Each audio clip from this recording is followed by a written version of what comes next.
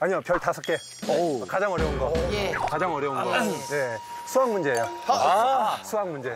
아 저번에 네, 그 기대해 인수분해. 배웠죠, 아, 이거 인수분해. 쭈르륵 올라가는 거 우리 아이들 너무 좋아해요. 네, 좋습니다.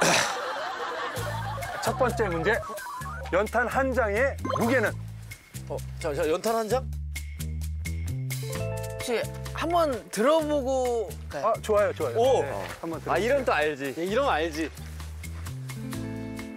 오 이렇게 무거웠어? 무거워요? 3kg 훨씬 위야. 훨씬이까지는 아니고. 아니야 진짜 형.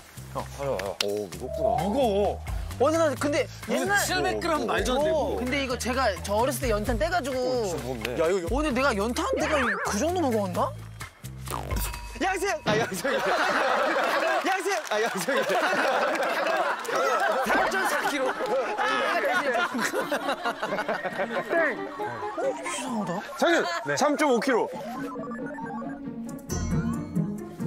땡! 비슷해졌어요? 승희. 네. 3.6kg. 땡.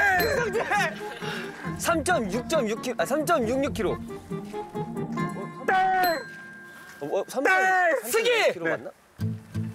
어? 3.65?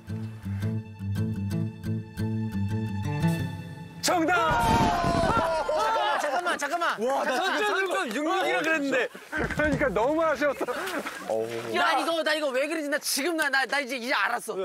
아 이거가 원래 그거 있었어. 나도 왜 바보처럼 이게 원래 인간 온도가 36.5도잖아. 그래서 이거 맞아 이거였었어. 아, 네. 내가 이거 분명히 어디서 봤어. 그래서 그래서 3.65kg를 맞춘 거예요? 네네.